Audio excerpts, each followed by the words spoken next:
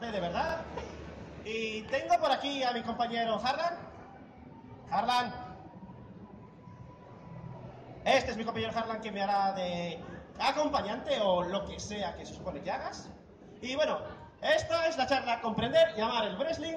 Se puso mal cuando pusimos la charla, queremos decir lucha libre, pero a veces ocurren estos problemas en temas de burocracia. Así que eh, empecemos. So- somos un par de, de, listillos de lucha libre. Vemos lucha libre desde el 2013 aproximadamente de forma casi semanal, con los programas mensuales casi siempre. Y bueno, antes de nada, para los que tengáis cualquier pregunta, esto no es una charla de nuestros combates y luchadores favoritos. Nos lo podéis preguntar luego, si queréis. Tampoco es para promocionar una marca en concreto, esto no va a ser solo de la WWE, esto es wrestling en general, en todos sus aspectos, en todas sus formas. Tampoco he pasado 2.493 meses preparando esta charla, he pasado un par de semanas y he tenido varias cosas que hacer, como trabajar. Tampoco es un recopilatorio definitivo, así que si creéis que esto va a ser perfecto, pues eh, lo siento mucho. Tampoco es la forma de convencer a quien no quiere saber nada de wrestling, porque si tú estás aquí es porque el wrestling te interesa un poquito. Un poquito solo. ¿A quién le interesa un poco el wrestling y quiere aprender más? Tenemos a los- algunas caras conocidas, bien. Así que, oye, ya ha venido alguien, esto es un logro. Y tampoco os voy a decir cómo ver wrestling gratis, pero me lo podéis preguntar luego. Y tampoco es una charla de multipropiedad, con lo cual eh, vuestras carteras están a salvo. ¿De qué va esta charla? Esto básicamente es aprender el wrestling y reunirnos los que amamos la lucha libre en varios aspectos. Es un resumen general.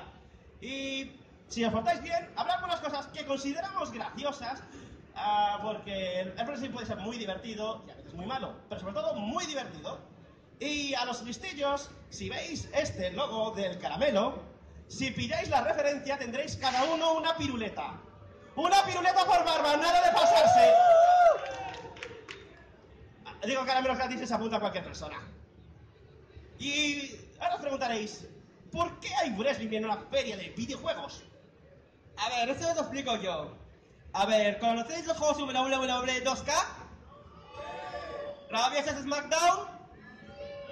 Vale, pues hay mucho. eh, los videojuegos han sido una inspiración para el wrestling. Tenemos Def Jam Vendetta, World Wrestling, Saturday Night Slam Masters. También tenemos aquí un par de juegos. ¿Alguien lo reconoce?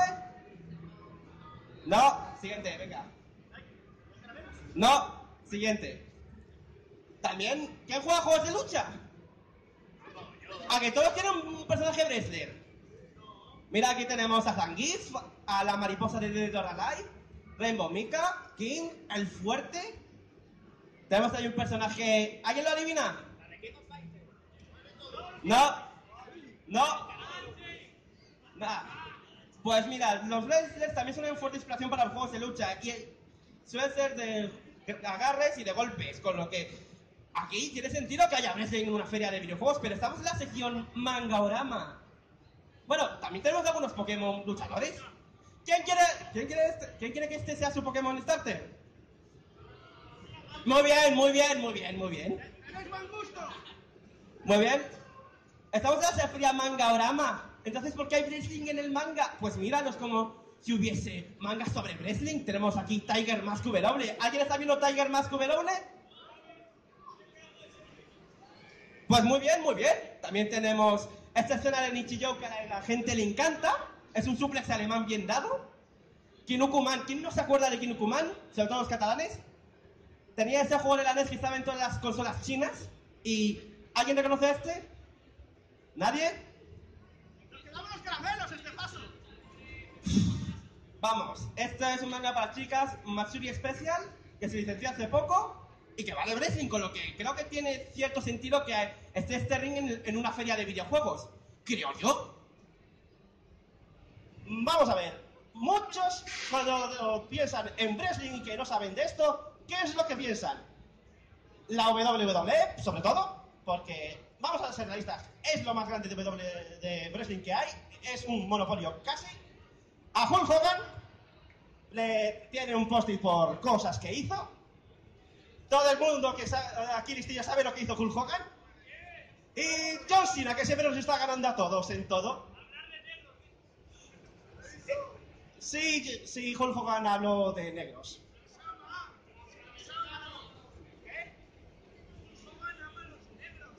Sí, Hulk Hogan adora a los negros por una cosa que tienen.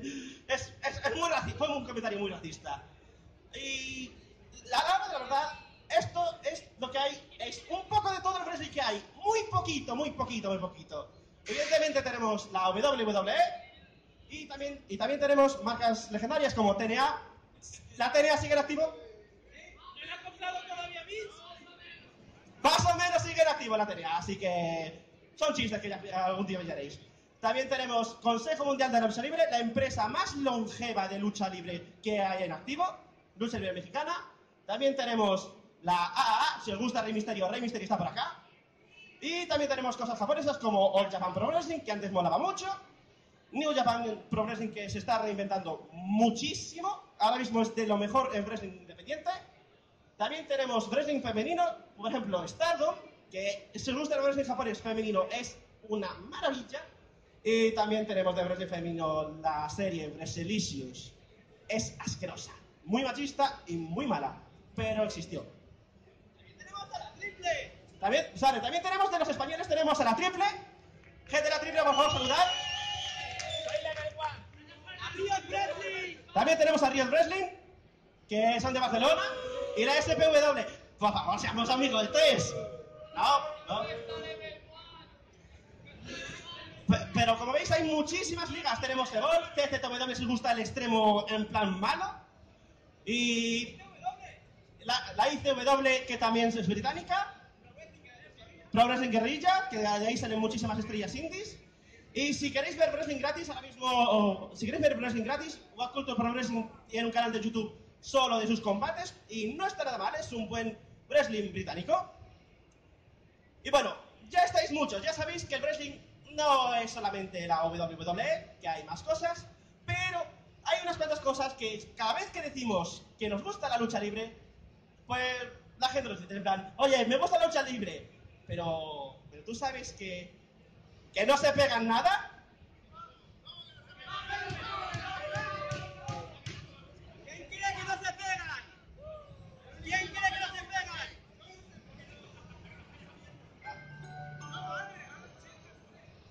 Dicen que no se pegan nada. Yo tenía un combate a las 12 y estoy cojeando por aquí.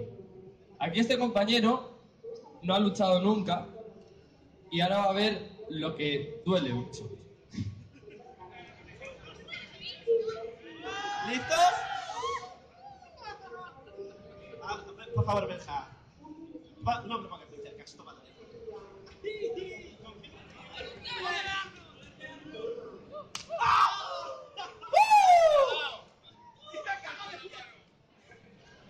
¿A que se han pegado de verdad? Pues eso, que en el wrestling hay hostias. El wrestling duele. Sigue. Esto es un mo- movimiento más sencillo de recibir. Un puto chop. Esto ya me lo han dado por segunda vez y me sigue picando, joder. Y esto, diréis, sí, duele. Pero ¿cuánto te da esto? 10 segundos de combate con suerte. Intenta aguantar llaves como esta durante 15 minutos o 20 o incluso hay Iron Man de 30 minutos. Vamos a hacer otra demostración. ¿Fallas? Este... ¿En serio? Rod Fallas tiene la fama de pegar fuerte de verdad. Así que... Por favor, ten compasión. Va a ser maravilloso. Esto es maravilloso. Ahora sí pico. ¿Lo habéis oído? ¡Qué maravilloso! ¿Puedo decir que se me ha parado la respiración un par de segundos? Porque no estoy entrenado y esto es algo que se hace repetidamente en un combate de forma profesional, todos los días, cinco días a la semana. Esto es el trabajo de muchos. Y joder, cómo ha dolido. Ole tus cojones. Cuando me dijo que le quería dar tallas, creía que, que se iba a morir.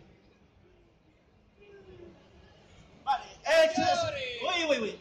Y esto es lo que hemos pasado nosotros y lo hemos... Por favor, no miréis.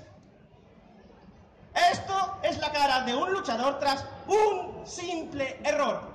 Se supone que Austin Aries, uno de los mejores indies del momento, que ahora mismo está en XNXT, recibió una patada en la cara. En teoría todo debía salir bien, pero se le ha hinchado y con suerte no perderá el ojo. Con tra- tiene un equipo médico suficientemente decente, pero este es el pie del luchador japonés que le dio una patada en la cabeza. Dos lesiones con un solo movimiento. A ver quién aguanta eso. Luego están, es que es falso. Bueno, la palabra es que está guionizado. Sí, está guionizado. Estos me han pegado, pero en el fondo yo les considero unos buenos colegas. Y es lo que es algo necesario. Está guionizado. Antes de cualquier combate ya se sabe medianamente que quién va a luchar y quién va a ganar. Pero también se dicen qué grandes momentos de la lu- del combate habrá. Por ejemplo, si tienen que salir del ring, eso ya se guioniza. Y al menos en el estilo de la WWE, el 80% del combate lo improvisan. Se dicen qué quieren hacer y se realiza. Se se suele hacer para mantener un tiempo de combate medianamente decente de 15 minutos. O lo que es lo mismo, hombre local cree que la lucha libre es real. Cuando, cuando estáis viendo un combate de lucha libre, haced como que os lo creéis de la misma forma que veis cualquier serie. Si- siempre que vemos Juego de Tronos, sabemos cómo es el mundo de Juego de Tronos. Pues en el wrestling es lo mismo, simplemente hay que mirar cómo es el mundo del wrestling, qué personajes hay. Hay quienes dirán que esto son cosas muy modernas que llevan poco tiempo, pero con un poco, un poquito de investigación en hemerotecas, podemos encontrar esto. Esto es un artículo de hace 83 años. Mundo Deportivo, 22 de octubre de 1933. Este, eh, La velocidad y la emoción de la lucha libre moderna ha creado un deporte de singular espectacularidad. Admito que lo vendía muy bien.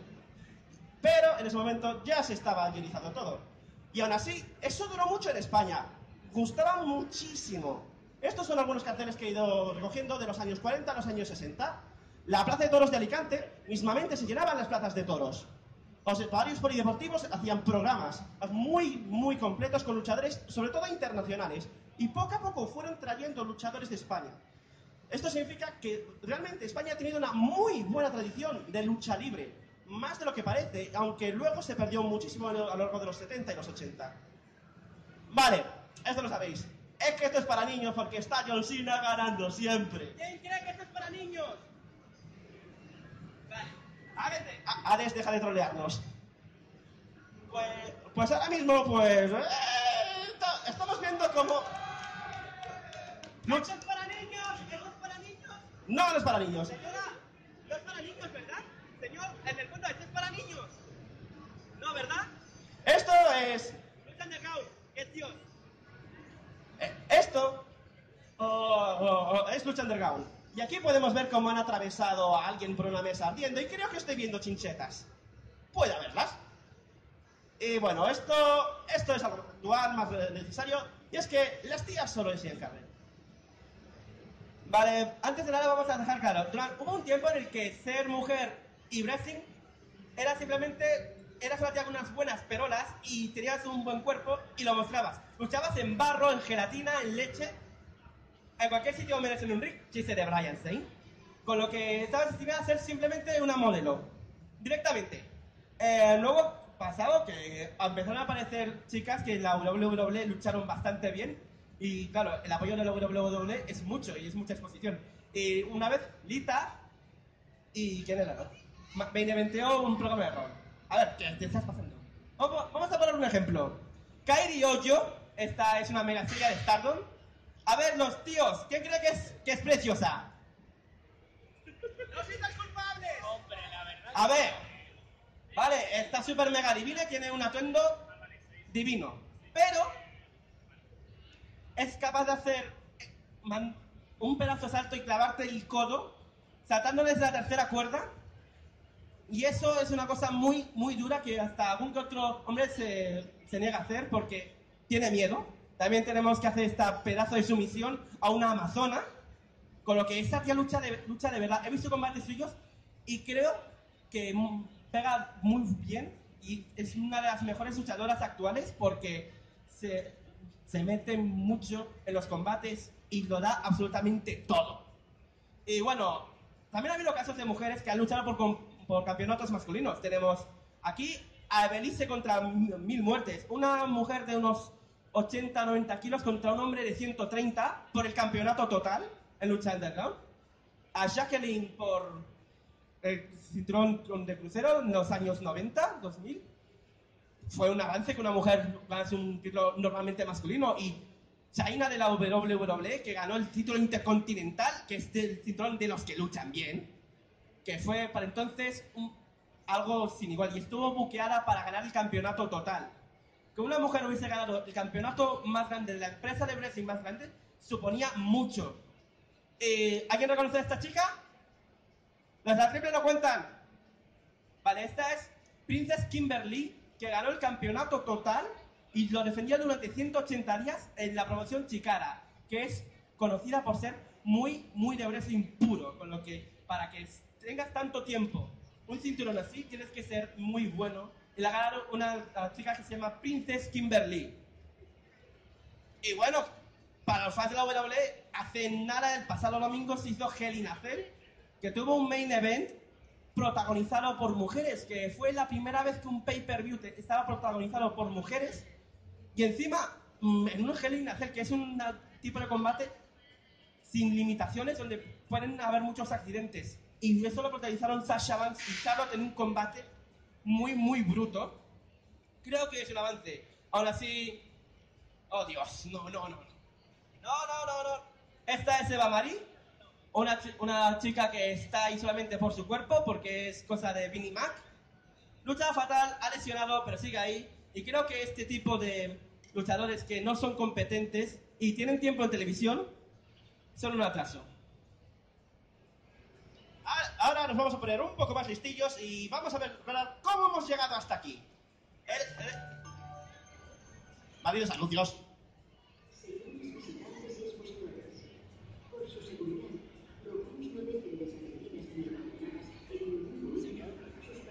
Vamos, que no dejéis vuestros bolsos esas horas. Ya lo sabéis. Vamos a ver. Ahora mismo si ve- vemos que la lucha libre es un mega conglomerado del entretenimiento con un gran impacto en la cultura pop. Ya todo el mundo conoce a John Cena, ya todo el mundo conoce a Hulk Hogan, salvo la WWE, que no lo conoce por- porque han pasado cosas. Y el estilo actual ya se sabe cómo es, pero ha pasado muchísimo, tanto en la forma en la que luchan como en la forma en la que se han vendido los combates. Vosotros sabéis que cuando veis WWE, veis que hacen promociones, que hay enemistades, que hay mucho personaje. Eh, ¿Cómo hemos llegado? Pues tenemos, lo primero, lo- esto se inició en el siglo XIX y siguió hasta el siglo XX, pero no demasiado el siglo XX, no os paséis. El wrestling se conocía como o- catch wrestling, que sería muchísimos agarres a ras de lona, con pocos co- golpes en sí mismos.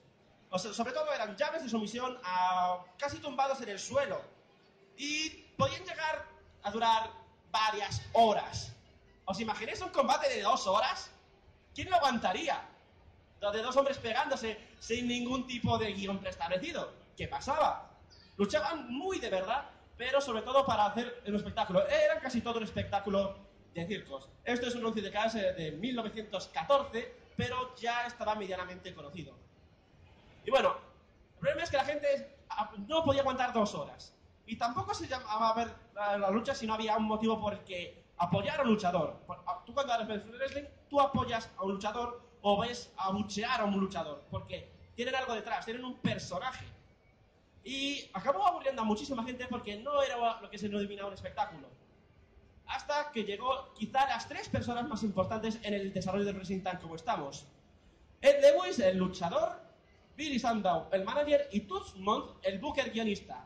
Se llamaba el Goldust Trio y formaron parte de una empresa que ahora mismo se conoce como WWE y se me ha olvidado votar el nombre original. Eh, era la WWF, World Wide Wrestling Federation. Y entre los tres se organizaron viendo que el público no iba a sus combates, pero que había algo de potencial en él. ¿Qué es lo que hicieron? Bueno, se crearon acuerdos para luchadores que duraban más. varios días, varias semanas, varios meses en una misma empresa, te daba pie a que un nombre se asociase a una empresa. También, eh, ah, importante, se crearon nuevos movimientos basados en golpes, llaves y de- dejaron la lucha ras de suelo para que no sea casi siempre. Eh, este estilo se eh, denominó el estilo americano, o, o- o que, que es... Que no lo hemos apuntado. Y otra cosa importante es que se empezó a guionizar el los combates. Se sabía ya quién iba a ganar y se sabía sobre todo cuánto tiempo iba a durar el combate. Se calculaba que duraban como 30 minutos y llegando a los 15 minutos como medida estándar de un combate. Y oh, eh, gracias a todo eso, gracias a que todo estaba coordinado, se creó los personajes, se crearon los feudos, se crearon las historias. Ya sabías que un luchador estaba enfrentado a otro por algo. Ese algo es, o es lo que te eh, mueve a apoyar a alguien o a eh, decir, no, tío, no quiero que tú seas el campeón. Yo quiero que sea este porque me cae mejor, porque su personaje es mejor o por cualquier otra cosa. Y pasamos el tiempo y llegamos a la era de los territorios. Suena mejor en mi cabeza. ¿Y ¿Qué es la era de los territorios? Había decenas, si no centenares, de empresas de lucha libre con algunas de las más importantes. Y había varios nombres, varias normas. Cada uno tiene su estilo de lucha, cada uno tiene sus campeones y luchadores. A veces, muy pocas veces los comparten y se hacen promoción cruzada entre ellos. Pero había una norma, una sola norma que no se podía romper y es que uno no entraba en el territorio del otro. Esto era lucha libre eh, desde los años 30 hasta los 70. Podemos ver que eh, aquí la World Wide Wrestling Federation empezó en la zona de Nueva York, también hay en, Flo- en Florida ah, y la AVA que está por, por aquí. La NWA, la WA son, empresas legendarias que siguen siendo relativamente activas a su forma de ser. Y tú, por ejemplo, si la WWF intentaba hacer un show aquí, no podía. Todo estaba calculado para que nadie entrase en el territorio del otro, para que no se compitiese. Tened eso en cuenta. Hasta que apareció Bismarck Mahon. Bismarck Mahon tuvo una infancia muy, muy, muy mala y no conoció a su padre hasta casi la mayoría de edad, sino después. Depende de a quién preguntes. Eh, este tío ahora tiene 70 años, se sigue mazando y está... Hizo lo impensable. Empezó a comprar todos los luchadores, empezó a comprar todas las empresas rivales. Absolutamente todas. A pesar de que le prometía a su padre, Bismarck Mahon Sr., que nunca lo haría. Bismarck Mahon mintió a su padre y empezó a comprar todas las ligas de lucha libre que había. Todas seguían más o menos el mismo patrón. Guionización, espectáculo, poder declarar a alguien las estrellas. Y, Vi- y Vince dijo, no, yo lo quiero todo. Y pues, llegamos a quizá la fecha más importante que podemos tener en los últimos años. El primer WrestleMania. WrestleMania. ¿Quién sabe lo que es WrestleMania? Vale, gente que sabe lo que es WrestleMania. Un momento. ¿Qué es WrestleMania? El evento más importante de la WWE. ¿Por qué? Porque es un. Mm, puede, pero ¿qué, qué, qué tiene de especial WrestleMania para que sea WrestleMania? No solo que tenga mucho tiempo. Porque se resuelven las historias. ¿Qué más? ¿Más cosas? Vale, trajeron a famosos. Si veis registros de la WWE, del primer WrestleMania, veréis que casi todo tenía que ver con algún famoso. Pero era una apuesta a todo o nada. Ya hubo, hubo en su momento, hubo St- o Starcade hace do- dos años antes, atrás, que, fue- que eran todas las empresas de lucha libre, hicieron un único pago por visión con todos sus luchadores juntos. Vinny dijo, lo. Y decidió montar WrestleMania. Aquí escogió a, sus mejores estrellas y a muchísimos famosos, que es algo que las de Starkey no consiguió hacer. Gracias a famosos consiguieron exponerse en muchísimos os medios. Os- mucha gente empezó a hablar de WrestleMania. Y por suerte funcionó, porque si, porque si hubiese fallado WrestleMania, no habría WWE. Pero no todo iba a ir bien. De- debido a litigios de la televisión, Ted Turner, conocido magnate de las comunicaciones en Estados Unidos, dijo, oye, que yo quiero también luchar en la lucha libre. Y compró WCW, que es otra promoción de la lucha libre que creaba. Hasta el momento, cada, cada uno dijo, pues yo doy mis shows los, lunes y otro decía, yo doy mis- los shows el sábado. Hasta ahí bien, cada uno veía lucha libre cuando podía y no había que escoger. Tú podías ver WWE y WWF, eh, digo, WCW, y no pasaba nada. Hasta que llegó lo que conocemos como la Monday Night War, la guerra de, la, la lu- la guerra de las noches de los lunes. Moraba mejor en sus cabezas. Y esto empezó en el 4 de septiembre de 1995, cuando WCW contrató a, muchísimos luchadores, grandes luchadores como Lex Luger, tenía incluso también a Randy Savage, a Hulk Hogan, tenía a las grandes estrellas de la que era la WWF y las estrenaba casi todas para competir contra la WWE. Eh, duró muchísimo tiempo. Hubo un tiempo donde la WWE estuvo a esto, a esto de cerrar. Pero pasaron cosas. Casi todo el mundo lo acusa que se centraron sobre todo en el grupo de Hulk Hogan y no dejaron crecer a nuevas estrellas que les fuesen sustituyendo. Hasta que eh, el 23 de marzo, hasta que el 23 de marzo de 2001 compró la empresa por solo 3 millones de dólares. Comp- compraste a tu rival por 3 millones de dólares. He de decir que eso es un logro. Y ahora tenemos el modelo actual con, todas esas empresas que hay,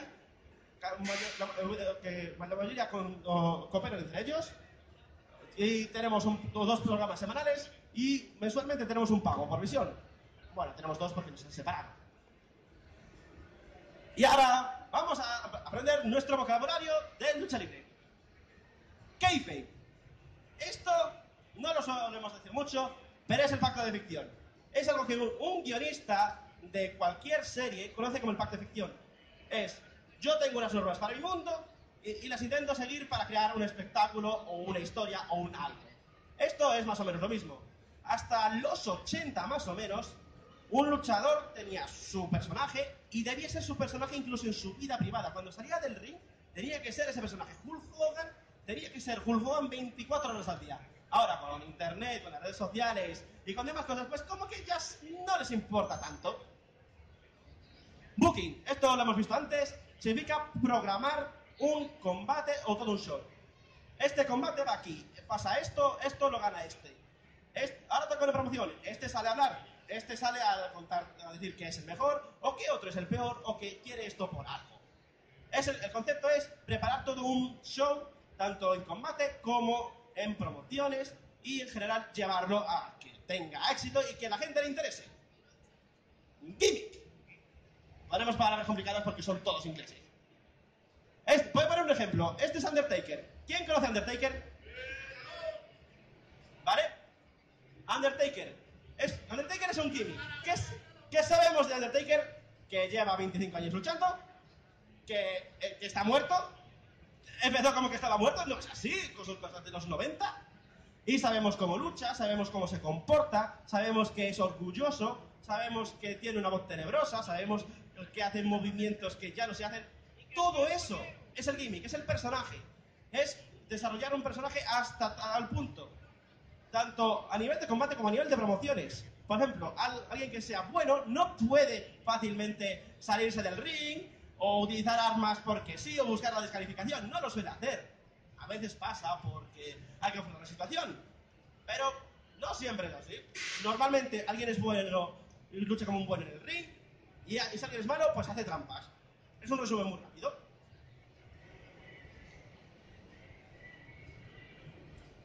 Face y Heel. Esto es muy sencillo. Face es el bueno, Heel es el malo. Normalmente, una lucha suele tener equipo de buenos contra equipo de malos. Uno contra uno, dos contra dos, pero sobre todo buenos contra malos. A veces los mezclan y salen del todo bien, y a veces los mezclan y salen bastante, bastante bien. Pero en general, el face es el bueno, lucha contra la adversidad, intenta buscar la gloria de forma honesta, de forma de superación personal, y luego tenemos el heel, que es el malo. Hace trampas, as- as- no respeta las normas, se escudriña, busca el juego fácil, y es esa confrontación lo que puede hacer una muy buena historia. Que es que se llama literalmente lo que dice, pago por visión. Hay shows semanales que dan de gratis, los lunes y los martes juegas en WWE, la tienen los hace los miércoles, Lucha Underground los hace los miércoles, hay, hay siempre hay un día para algo. Y esos son los shows semanales. Pero vamos a reservarnos los finales de las historias, los finales de los feudos, los, las grandes luchas, los grandes buenos contra los grandes malos para el pago por visión. Y funciona. Fue un sistema que se empezó a utilizar por los 90, 80, por los 60, 90 y mostraban un poquito de lo que pueden ofrecer para que luego a la gente les interese el pago por visión, que suele ser 60 pavos cada uno. Es mucho dinero. Hay- y hay muchísimas personas interesadas as- as en ellos. Consiguen unas ventas bastante interesantes y es una de las fuentes principales de donde sacan el dinero. Pero con dos shows semanales, solo luchan dos veces al día. Hemos dicho que luchan cinco, cinco días a la semana. Estos son los house shows. De, de hecho, el día 12 viene el WWE a España y eso es un house show. No se va a grabar, no va a meterse en televisión, simplemente van a ser luchadores luchando para el público local. Ahí, ahí puede haber cualquier cosa. Puede haber combates que no se suelen ver, puede haber luchadores probando cosas nuevas. Por ejemplo, eh, en uno se probó que César hacía un 619 así así, se lo intentaba, pero luchadores suelen estar muy relajados, suelen probar cosas nuevas y es lo que suele ser como un ensayo general. Y a veces hay ensayo general en los shows semanales. Es lo que se conoce como el dark show, que son combates antes o después de que se grabe el show. Allí puede ocurrir casi cualquier cosa, como en un house pero se da como regalo para los que van a ver en vivo un show semanal. Y, la verdad es que se, hay secciones muy, muy buenas, como es el Snoopar único de Undertaker, fue, fue gracioso a su manera. Y aquí vamos a ver lo importante de vosotros, el público. Porque el público es importante, ¿no creéis? Lo intentamos. Ah, el público es importante porque sin el público la lucha libre no merece tanto la pena. Por ejemplo, lo, lo mínimo es respetar a los luchadores. No, ha habido casos de fans que se han metido en luchas y han acabado muy mal. En la WWE eh, tienen la política de si les encuentran, pues sa- sacan la seguridad, pero en algunas indies simplemente le dan una palicilla con tal de asustarles. Otras cosas que suele hacer el público, que debe hacer el público, aplaudir a los buenos o sea, os- y abuchear a los malos. Es habitual para que la gente sepa quién es el bueno y quién es el malo. También podéis emocionaros mucho, podéis crear carteles, hacer ruido o cantar porque es una gran forma de decir que algo te está gustando muchísimo. Y para acabar, cosas generales, tenemos varios estilos de lucha libre, porque no solamente hay un estilo de lucha libre. Tenemos el estilo de Estados Unidos, golpes y llaves de impacto. Sobre todo importan los spots, los movimientos importantes. Y hay muchísimo guion a través de la lucha libre.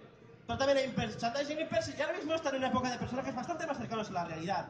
Ya se han acabado la época de luchadores que eran literalmente policía montada de Canadá, mm, jugadores de hockey, policía, guardia, guardia de seguridad. Todo esto ocurrió de verdad. Incluso el que se encarga de los embargos. ¿Qué pasó? El estilo mexicano se puede definir más como volador o- y si ves el misterio lo tenéis muy claro. Él es muy saltimbanqui, salta muchísimo y hay un código de honor de luchadores, sobre todo o en, o en las melenas o en las máscaras. ¿No habéis visto que casi todos los mexicanos tienen máscaras? A menos en términos más clásicos, los luchadores más clásicos siempre tienen una máscara. Y son bastante más exagerados como generalmente. Evidentemente habrá mexicanos que utilizan otro estilo, pero esto es un resumen bastante rápido y muy general sencillo. Luego está el estilo británico-canadiense, que está basado sobre todo en llaves para hacer rendirse al rival y cadenas de movimientos. O- o- o son muchas llaves que se encadenan unas a otras. También hay movimientos clásicos y tienen la particularidad de que quieren transmitir muchísima historia de un personaje, quieren que sea muy divertido o quieren que sea muy emocionante. Quieren que un personaje se viva en el ring muy fuerte. Luego tenemos a los japoneses, que, ya, eh, que son de golpes muy fuertes, muy reales, como, lo- como los que nos han dado aquí, pero aún más. Y y, y tienen un sistema de narración muy distinto. Aquí no luchan tanto por una historia, por unos enfrentamientos directos, no lo suelen hacer.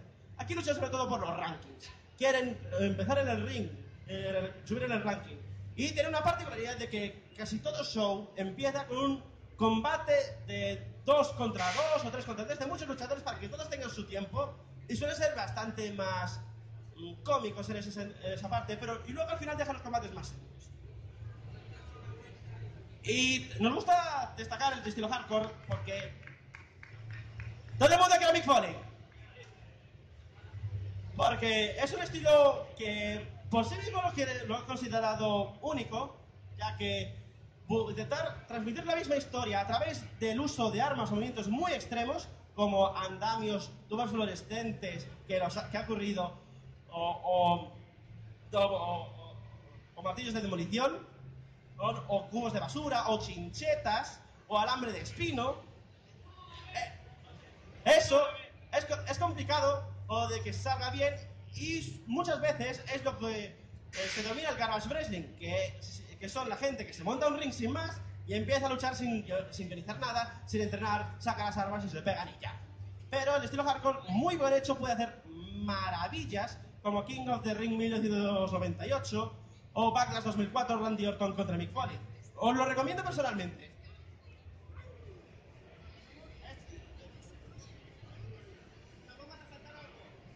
Y, eh, y como nos queda poco tiempo, ¿el público se ha portado bien? ¡Sí! ¿Los, ha- los, los has soportado? No habéis acertado ningún, ningún desafío y no hemos dado piruletas, pero coño, os habéis portado bien. ¡Vais a tener regalo que son historias divertidas! ¡Oh! Esto es quizá uno de los más locos os, os- os que podemos ver. El campeonato Ironman Heavy Metalweight de TTT Pro Wrestling es una promoción japonesa que es excepcionalmente cómica en el sentido de que es un, un cinturón que se juega 24 horas al día, 7 días a la semana. Significa que siempre que hay un árbitro delante, se pone el título en juego. Siempre. A mí esta historia me encanta. Esto ha provocado muchísimos luchadores de la talla de Asuka, que ahora está en la NXT y es considerada una de las mejores luchadoras del mundo. Pero también hay otras cosas. Por ejemplo, está Joey Ryan, que está medio patrocinado por Jupor, con el Jupor Plex y el Bookplex no lo, no lo tenemos aquí, pero sí que nos lo enseñamos. Y entonces han sido algunos de los ganadores. Tenemos un mono, tres diferentes escaleras. Esto, ¡Una de ellas retuvo! Una de ellas retuvo. También tenemos a este muñeco. También lo ha ganado un gato. Un gato que ha ganado un cinturón de lucha libre. Y la estrella del Paseo de la Fama de Bismarck Mahon. Porque ganó porque su rival se rindió. Ganó porque